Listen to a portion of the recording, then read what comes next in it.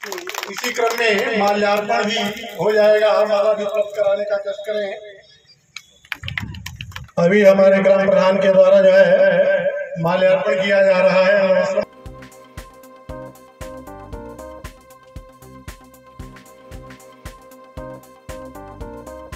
क्या कहना चाहिए इसके बारे में सोनिया जी से पूछना चाहिए। सोनिया गांधी जी राहुल गांधी जी पूरी तरीके से पाकिस्तान और चीन से मिले हुए हैं जो दो बार पूर्ण बहुमत से चुने हुए प्रधानमंत्री हैं।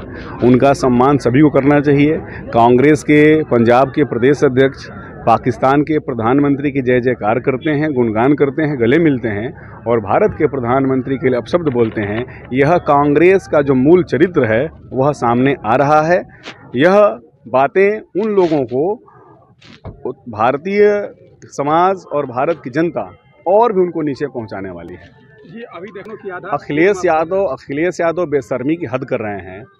पाँच साल प्रदेश के मुख्यमंत्री थे। हमारे किसान बंधुओं को गेहूँ की सिंचाई करने के लिए रात में दो बजे रजाई छोड़ के खेत में जाना पड़ता था।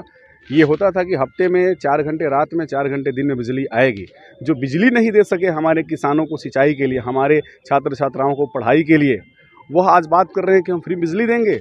माननीय मुख्यमंत्री जी ने 24 घंटे बिजली जिला मुख्यालय को तहसील मुख्यालय को 20 घंटे और ग्रामीण क्षेत्रों को 18 से 20 घंटे। आज हम बसंतपुर गाँव में खड़े हैं और यहाँ 24 घंटे की बिजली आती है।